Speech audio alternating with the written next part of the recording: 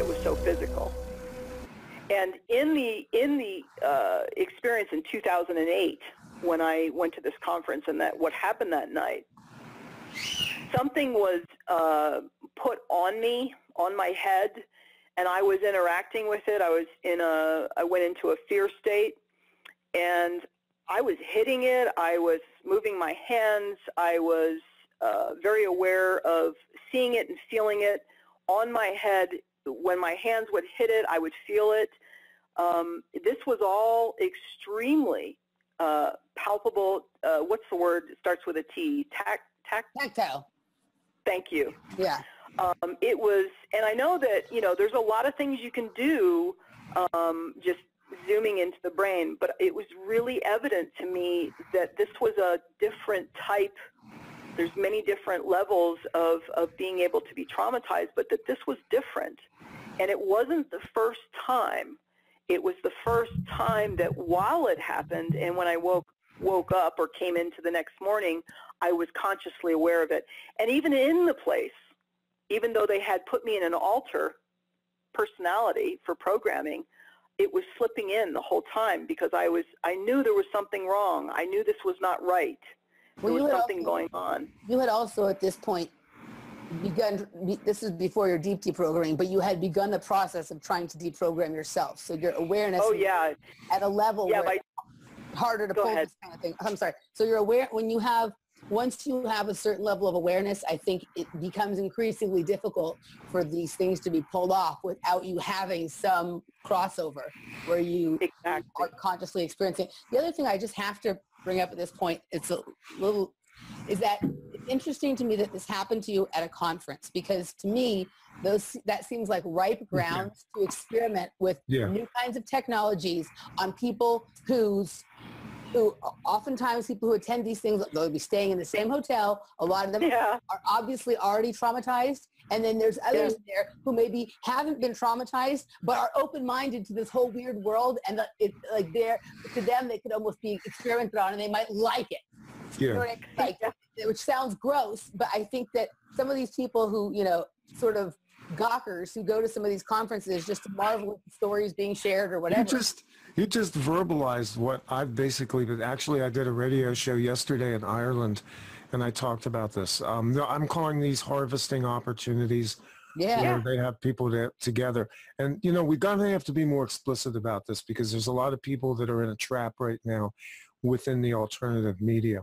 So, you know, I'm glad you brought that up. That's a great point, Emily. And, and uh, it looks, you know, it looks like we're about at our break time. I don't know um, if we Yeah. can break gracefully at this point or Elisa, if there's something you want to Okay, so let's pick up where we left off. And that was this idea that all of these conferences, whether they be UFO conferences, chemtrail conferences, conspiracy conferences, super soldier conferences, which that idea just sickens me. Whew. Yeah.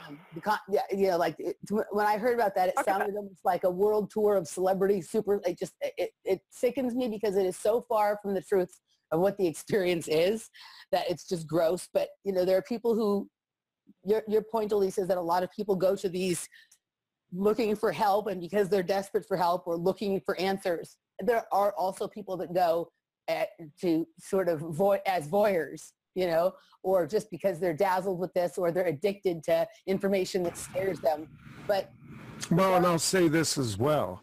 There's a lot of agents, and I've said this on the show before. yeah, One of the reasons why I stopped going to conferences is because of the spooks in the background of these things. And, you know, when you're when Not your even the discernment right antenna goes up and you're going, mm, boy, that's that really doesn't look good at all. Um, trust your instincts on that because I found out my instincts were right, and I found out that you know the level of harvesting that's going on there, profiling, um, locating people, and basically being able to work a crowd energetically in a way that is like a, a ripple effect from mind control is that's all present in the background of that if you can feel it energetically. Well, whipping people up into this state where they're creating loosh for, the, for, for all sorts of Yeah. malevolent uh, entities that also are surrounding these conferences. Um, so let's let's start there, Lisa. So what do you think? Well said. Well said. And um, I even believe in my case um, that I was programmed uh, at when certain things started to go off to go there.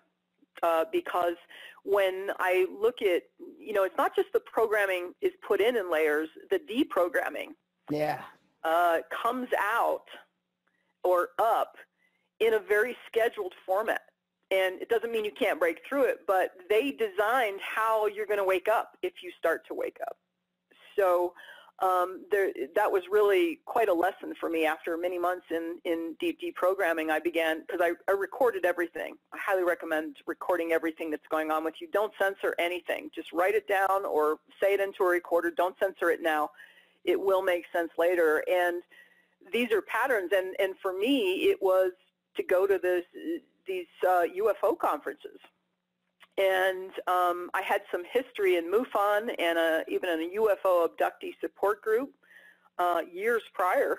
So I had that, that baseline already set in. And the way my memories surfaced was um, the incest and sexual abuse first. This is a real general overview. It wasn't exactly, you know, one, two, three, but basically the incest and sexual abuse, followed by alien abduction or interaction, followed by military da-da-da-da-da. Uh, so it was layered to come up in, if it was going to break, which it usually does in the old trauma-based mind control. You hit a certain age or certain age range and it starts to come up. So it was, it was set that way. So, you know, I have a lot of compassion for the people that are going as a victim who went covertly, very quietly, terrified. Uh, all my alters or several of them screaming, don't go, you're outing us, literally. Do not go to this conference, you're outing us. I didn't even know what they meant. Um, and so uh, I think a lot of people are programmed to go, maybe not so much anymore, I don't know, but why not? They can do that remotely.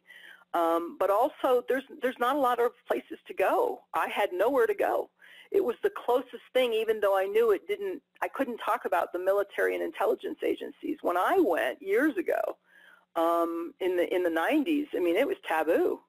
It was taboo. I mean, you go to a MUFON meeting and start talking about military abduction. You didn't do that back then. You got closed down, shut out. And now it's, you know, totally super soldier, which to me, the whole super soldier movement not that there aren't real victims in there, okay? But the super soldier thing was, it is a psyop. The entire thing, to me, was an intelligence operation and still is.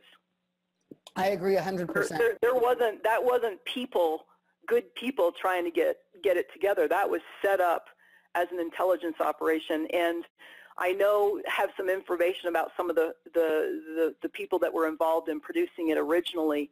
Uh, I know people who know them or have, you know, know them well, and that was definitely um, a setup from the word go.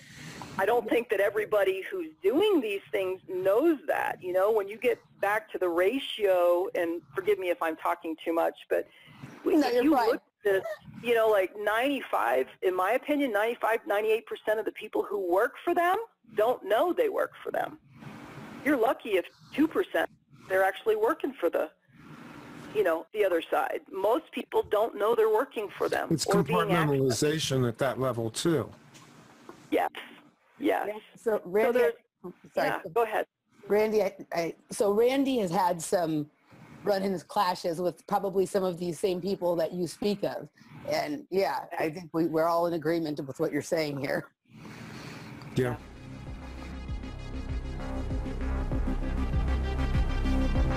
yeah.